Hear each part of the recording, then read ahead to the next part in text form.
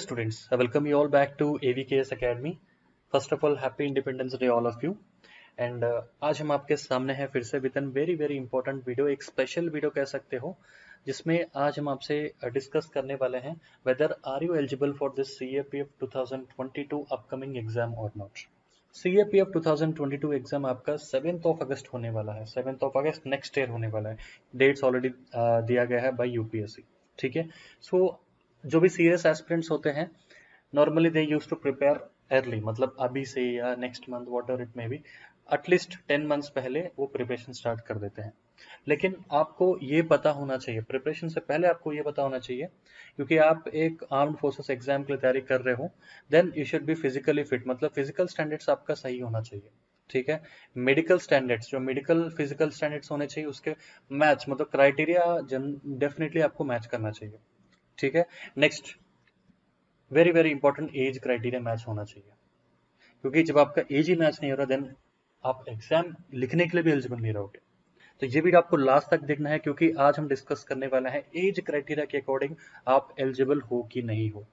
तो ये वीडियो देखने के बाद डेफिनेटली आपको एक आइडिया आ जाएगा whether you are eligible for the C exam और नॉट एंड डेफिनेटली आपके फ्रेंड्स जो भी है, उनको भी आप गाइड करोगे कि आप एलिजिबल मतलब आपका फ्रेंड एलिजिबल है या नहीं उतना अच्छा क्लैरिटी ये वीडियो में आपको देखने को मिलेगा। सो ये वीडियो आप लास्ट तक देखो। अगर आपको वीडियो अच्छा लगे ज़रूर लाइक कीजिएगा और अपने दोस्तों से शेयर कीजिएगा। ठीक है? चलो आगे बढ़ते हैं। सो so, वीडियो आगे बढ़ने से पहले आप सबके लिए अनाउंसमेंट है। जैसा कि C F twenty two exam के लिए तैयारी स्टूडेंट्स कर रहे हैं। इनकेस डेफिनेटली आपके लिए तो हम फ्री गाइडेंस हमेशा लेके आते रहते हैं थ्रू यूट्यूब चैनल टेलीग्राम भी है ईवीकेएस का टेलीग्राम चैनल भी है डिस्क्रिप्शन के नीचे वहाँ पे लिंक दूँगा। आप डायरेक्टली ज्वाइन कर लीजिएगा, वहाँ पे आपको फ्री गाइडेंस मिलता रहता है। लेकिन अगर आप चाहते हो कि AVKS through online courses through अगर आप ज्वाइन करना चाहते हो for long term like for one year कोई प्रोग्राम में ज्वाइन करना चाहते हो डेफिनेटली अभी इंडिपेंडेंस डे और इनोग्रल ऑफर्स अभी कोर्स लॉन्च नहीं हुआ है जस्ट वन वीक के बाद लॉन्च होगा। सो इनोग्रल ऑफर्स चल रहे हैं। एवीकेएस का OLP programme integrated online learning programme अभी स्टार्ट होने वाला है, ठीक है?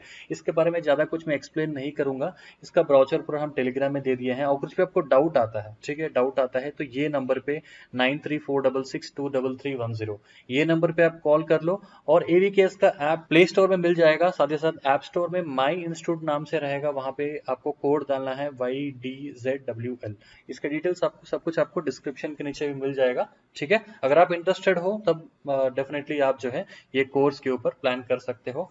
अगर आप कुछ भी डाउट आता है तो ये नंबर पे भी कॉल करके अपने सारे डाउट्स क्लियर कर लो उसके बाद ही आप ज्वाइन करना।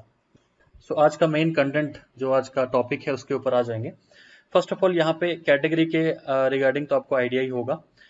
कैटेगरीज uh, है आपका general category next E W S is economically weaker section old OBC है नेक्स्ट एस सी है एस टी है next C C G E मतलब सिविलियन सेंट्रल गवर्नमेंट एम्प्लॉय ठीक है? तो इस सारे कैटेगरीज uh, के रिगार्डिंग मतलब ये कैटेगरीज हो गया है ये अलग से फिर से एक एज रिलैक्सेशन दिया जाता है इसके बारे में हम लास्ट में डिस्कस करेंगे ठीक है ना?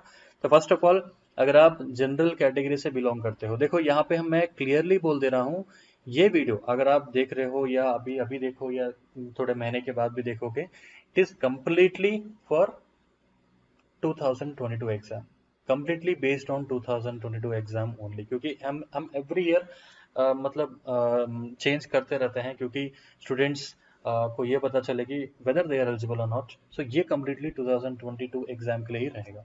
ठीक है? तो अगर आप जनरल और ओपन कैटेगरी से बिलोंग करते हो देन आपका एज रिलैक्सेशन यहाँ पे कुछ नहीं मिलने वाला। मतलब यहाँ पे एज रिलैक्सेशन आपको नहीं मिलेगा। और यहाँ पे आपका एज लिमिट कुछ इस तरीके का रहने वाला है। Second August 1997 to first August 2002 अगर आपका, सुनो फिर से सुनो एक बार। Second August 1997 to first August 2002 अगर आपका डेट ऑफ़ बर्थ इस मैं अभी जो आपको डेट ऑफ़ बर्थ बताया हूँ, मैं अभी जो आपको एज लिमिट बताया हूँ। इस एज लिमिट के अंदर आता है देन यू आर एलिजिबल ठीक है? मतलब सेकेंड अगस्त 1997 से लेकर फ़र्स्ट अगस्त 2002 अगर इसके बीच में आपका डेट ऑफ़ बर्थ है then you are eligible for this exam अगर आपका यहाँ पे समझ लो फ़र्स्ट आ गया फ़र्स्ट ऑफ़ अगस्त 1997 आप एलिजिबल हो या नहीं हो? डेफिनेटली यू आर नॉट ठीक है? तो स्टूडेंट्स काफ़ी सारे स्टूडेंट्स ये पूछते रहते हैं कि, सर, मेरा फ़र्स्ट है या मेरा नियर बाई है, क्या हो पाएगा? नहीं। आंसर इज़ नो, नहीं हो पाएगा। ये डेफिनेटली आपको फॉलो करना है। Next E W S E W S category में कैटेगरी को जो है कोई एज रिलैक्सेशन नहीं है ओनली कट ऑफ़ में आपको छूट मिलता है। Same as it is second August 1997 to first August 2002 अगर इसके बीच में आपका डेट ऑफ़ बर्थ है देन यू आर एलिजिबल इसमें एक भी दिन ऊपर नीचे हो गया, समझ लो। अगर फ़र्स्ट अगस्त ये समझ लो, ये फ़र्स्ट अगस्त है, ये सेकेंड अगस्त हो गया then you are not eligible ये सेकेंड अगस्त है, ये अगर फ़र्स्ट अगस्त हो गया then you are not eligible second August के बाद कोई इश्यू नहीं है। नेक्स्ट ओबीसी कैटेगरी में आ जाते हैं। ओबीसी कैटेगरी को देखो, यहाँ पे plus three years of age relaxation मिलता है। Plus three years of age relaxation ठीक है? सो so, ये वीडियो लास्ट तक देखो क्योंकि मैं यहाँ पे नंबर चेंज नहीं किया हूँ थोड़े। थोड़े बस आपके लिए मैं थोड़े नंबर छोड़ दिया हूँ। ना मतलब डेट ऑफ़ बर्थ ठीक से यहाँ पे मैंने मेंशन नहीं किया है ताकि आप खुद से आंसर दे। ठीक है? भले ये लाइव नहीं है लेकिन खुद से आप आंसर दे। एटलीस्ट मन में आंसर दो। तब आपको पता चलेगा कि हम सही से कैलकुलेट कर रहे नहीं है। ठीक है? अगर ओबीसी कैटेगरी है ओबीसी कैटेगरी 1997 यहाँ पे माइनस थ्री कर दो क्योंकि यहाँ पे क्या हो रहा है? Three years of age relaxation मिल रहा है। 1997 माइनस थ्री कितना हुआ? 1994 तो यहाँ पे ओबीसी कैटेगरी कितना होगा? सेकेंड अगस्त 1995 अगर आपका डेट ऑफ़ बर्थ है सेकेंड अगस्त 1994 से लेके फ़र्स्ट अगस्त 19 uh, 2002 इसके बीच में अगर आपका डेट ऑफ़ बर्थ है then you are eligible is it clear second फिर से बोल रहा हूँ। Second August 1994 to first August 2002 अगर इसके बीच में आपका डेट ऑफ़ बर्थ है then you are eligible is it clear next S C category में आते हैं दोनों का सेम है। Five years of age relaxation मिलने वाला है। तो यहाँ पे 1997 हमने दिया है। तो आप बताओ कि यहाँ पे क्या आना चाहिए? यहाँ पे five years of age relaxation मिलेगा। अगर कैटेगरी आप से आप बिलोंग करते हो तो आप मुझे ये बताओ कि यहाँ पे जो है कितना मतलब डेट ऑफ़ बर्थ यहाँ पे क्या होना चाहिए? यस yes, सही है। सेकेंड अगस्त 1997 माइनस फाइव कर दो। 1997 माइनस फाइव हो गया 1992 ठीक है?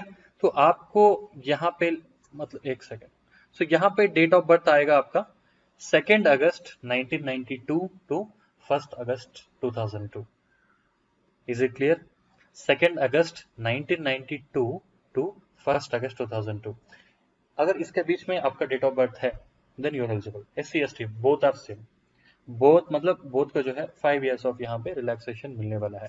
होपफुली यहाँ तक आपको काफ़ी क्लियर हो गया है। सो so, लास्ट में आपको होगा सेंट्रल सिविलियन गवर्नमेंट एम्प्लॉय तो यहाँ पे आपको एक बात याद रखना है।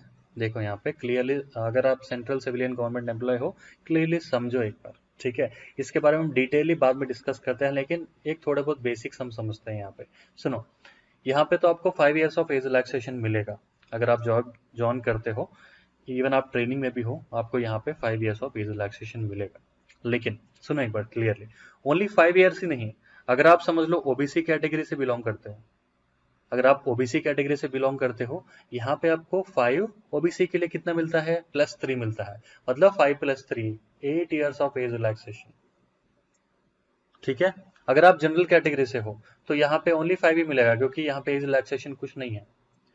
अगर आप एस सी से बिलोंग करते हो तो यहाँ पे क्या होगा? आंसर आप ही बताओ। मैं नहीं बताऊँगा।